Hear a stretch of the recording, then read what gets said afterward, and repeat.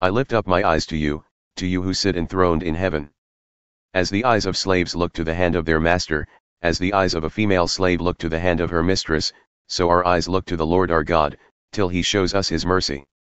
Have mercy on us, Lord, have mercy on us, for we have endured no end of contempt. We have endured no end of ridicule from the arrogant, of contempt from the proud. If the Lord had not been on our side, let Israel say. If the Lord had not been on our side when people attacked us, they would have swallowed us alive when their anger flared against us. The flood would have engulfed us, the torrent would have swept over us. The raging waters would have swept us away. Praise be to the Lord, who has not let us be torn by their teeth.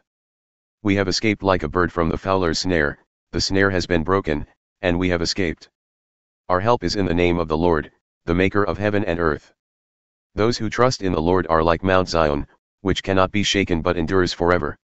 As the mountains surround Jerusalem, so the Lord surrounds his people both now and forevermore. The scepter of the wicked will not remain over the land allotted to the righteous, for then the righteous might use their hands to do evil. Lord, do good to those who are good, to those who are upright in heart. But those who turn to crooked ways the Lord will banish with the evildoers. Peace be on Israel.